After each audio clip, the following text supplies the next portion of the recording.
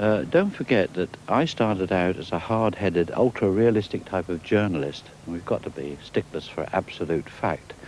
Uh, the strangest thing, in fact, that ever happened to me personally on these films here was uh, when I went up a little defile uh, near Cradle Hill, at the top of Cradle Hill, uh, where there's an army rubbish refuse dump.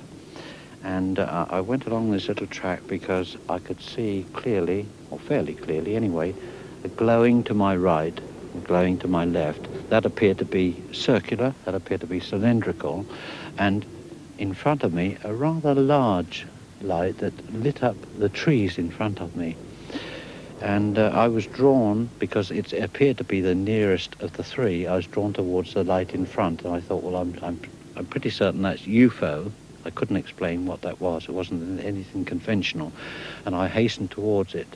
But then I was aware of being lifted off the ground, literally, and uh, I was aware of some energy coming from the lights at either side, which had closed in rather frighteningly.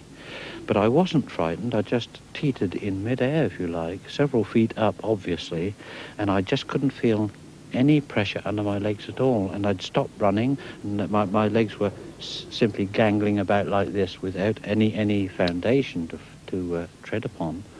And this went on, perhaps I was hovering in this sort of fashion, and yet still being propelled slowly forward for a good half minute or more.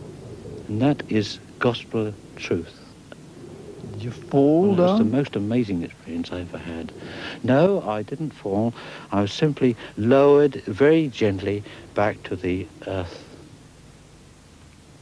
The Flying Saucer Review is the main journal in Britain which collects all the data about all strange things. For instance, figures like this, humanoid figures. This one, I think, reported from Finland. Um, extraordinary details of sources coming down, people being affected by rays.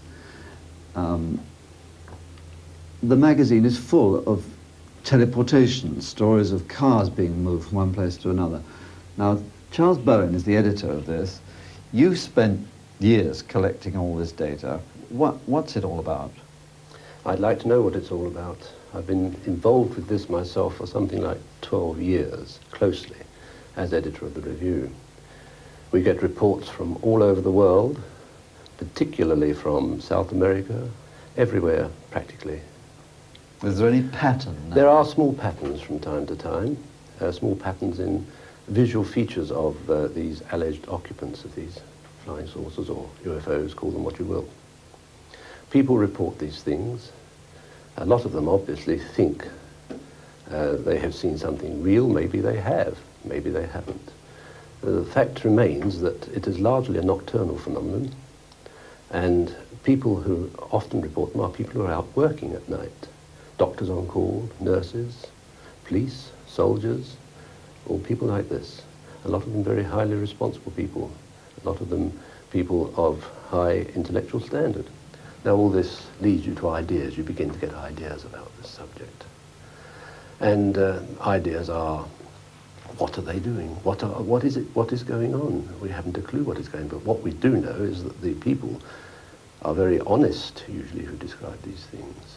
Very seldom do we come across deliberate hoaxes. I mean, there's no point in it because they begin to look ridiculous the moment they start speaking about these things. And we suspect that uh, they, they, the, the UFOs, which bring them, are controlled. Whether or not these creatures that are seen are the control of the, the UFOs, or whether they are merely projections from them, is another matter. The way they behave, the way they sort of float over the surface of a muddy field, and all this seems to suggest that they may be projections which are from the object into the minds of the beholders. This is one possibility. Then what is going on? We don't know. Are they some sort of attempt to control human beings? Do they select simple people for this purpose? Select them and work on them. The idea of control is not something new in, in the human, um, in the, the world of the human beings. I mean, ancient religions have all uh, sought to suggest that there is control from their deity.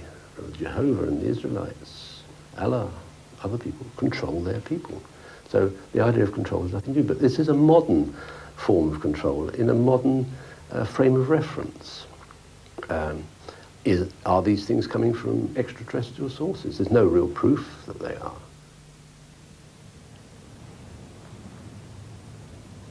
Staffordshire's had a whole crop of flying saucers. Spots in the sky, lights in the sky, strange things. But the strangest of all was seen one day over this cottage. Mr. and Mrs. Roestenberg were living there quietly out in the country. And, well, what, you just tell me what you saw. Well, it was one ordinary day. I was waiting for my husband to come home from work, and my two sons went to Stafford to school, and I was getting changed, and I heard this terrific noise. It was just like a giant cauldron of water being poured onto a, a fire, a shh sort of noise, you know. And my first reaction was, oh, the children. I thought maybe a plane was crashing or something like that. And I uh, slipped my jumper on and went outside to find my two sons lying flat on the ground in the garden in front of the house, shouting, Mummy, Mummy, there's a flying saucer. Well, naturally, I just said, come on, don't be stupid. Come in the house. But felt sort of a strange sensation. Uh, wended my way up the side of the house to where we had a pump where we used to get all our water from.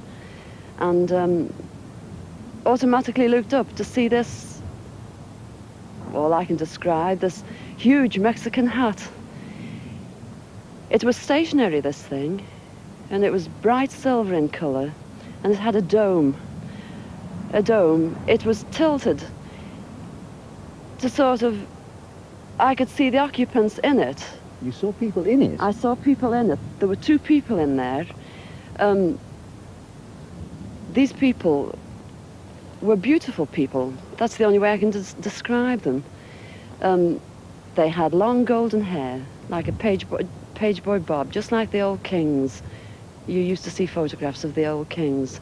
And the, the colour of the hair was golden. Now, I was really... What I, were they dressed in? They, they had a sort of a polo neck jumper affair, like a ski top suit, mm. in, in pale blue. Now, these people weren't sat behind, one behind the other. They were sat together, but this, whatever it was, was tilted so that I could see them and they could see me. Were you looking at them through windows, through portholes? or no, not portholes. It was just sort of the, like a cockpit, I suppose, that had this perspex or glass or whatever it was. They could see me anyway and I could see them and um, they were uh, they had beautiful faces. I shall never forget their faces as long as I live. Their foreheads seemed to be a, a bit larger than, you know, the the bottom of their faces as as normal people you would expect to see. But um, maybe this is, was just the whatever they had round their heads, which was like a transparent fishbowl. And they just looked and I was absolutely paralytic with fear. I couldn't move, although my mind was ticking over. And they looked so sympathetic that I was just mesmerized for what seemed to be, oh, ages, but it could have only been seconds. And I turned to sort of look down at the boys, was unaware that they were with me because I was so absorbed. And the next thing, I looked up and it was gone. How low had it been? It had been the, the height, I couldn't tell you. But the house that you've seen, it was just on top of the roof. It was hovering on top of the, the roof. How big was it compared with the size compared, of the house? It, it, it swallowed the, the whole circumference of, of the roof. I couldn't see, the roof was completely blotted out. The chimneys I couldn't see. All I could see was this massive uh, object that I described as a, like a Mexican's hat, a Mexican hat without the bubbles. And then it flew away sideways or upwards? Or? No, I, I didn't see. I just looked up and it had gone. But I assume it went straight up because for a short while after in the sky I looked around and I said to my two boys, where, can you see anything? Can you see anything? And they said, there it is, Mum. And they pointed up and I watched it. It was just like a little cotton reel in the sky. And it circled us three times. It went round three times, and then it just shut off. And that was it. When I started to analyze my myself afterwards. Uh, I feared that I might have had a, an hallucination. But then I knew I, I hadn't had because my sons were so sure about what they'd seen and what I'd seen. And I went, it went through my mind that it was a secret uh, weapon from Russia. And then I thought, well, it can't be that because if they had something like that, they wouldn't need to fear anybody or anything. Were you But- scared by it? Did you run indoors? Oh? I was petrified. I couldn't move. I couldn't move a muscle. I was paralyzed with fear. But um, now I wouldn't be. Because now, when I look back, you know, I think, what, what, what an amazing thing to have happened, and for me to have seen it.